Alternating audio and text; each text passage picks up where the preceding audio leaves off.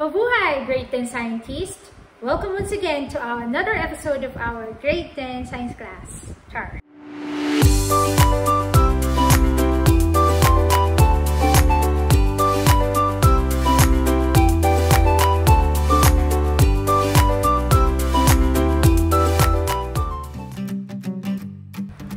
What is earthquake? Earthquake is the shaking of the ground that releases tremendous amount of energy. This energy radiates in all directions in the form of seismic waves.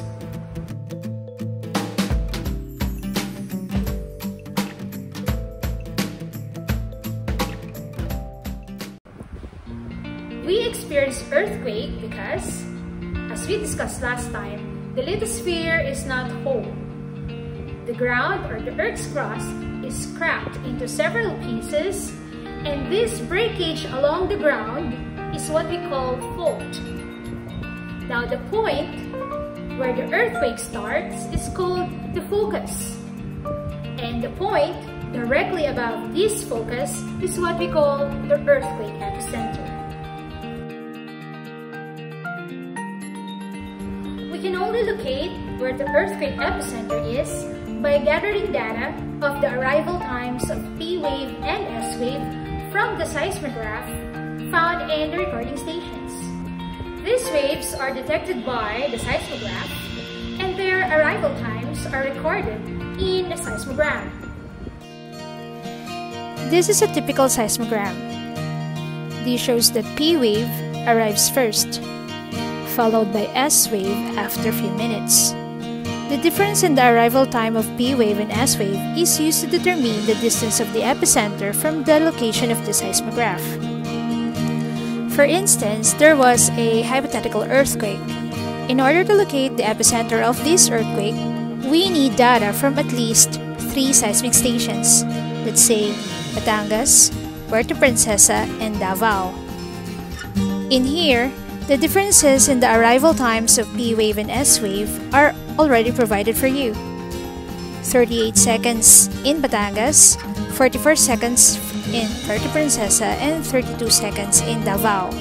All you need to do now is to solve for the distance of the epicenter using the distance formula distance is equal to time difference divided by 8 seconds times 100 kilometers.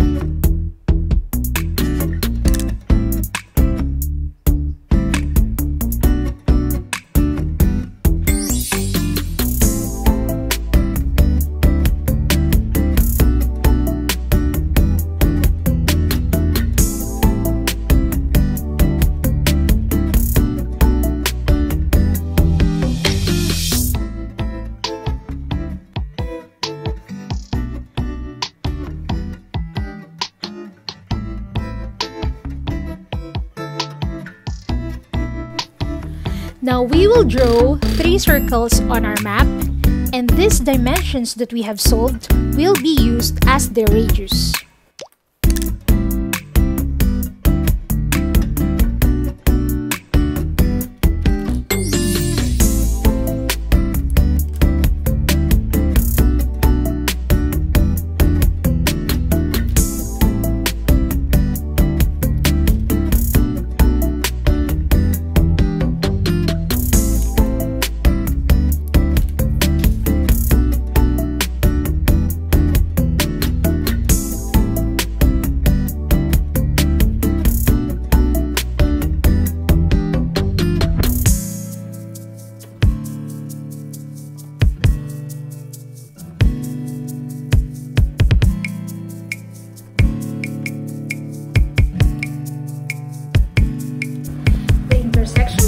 Of these three circles is said to be the earthquake's epicenter.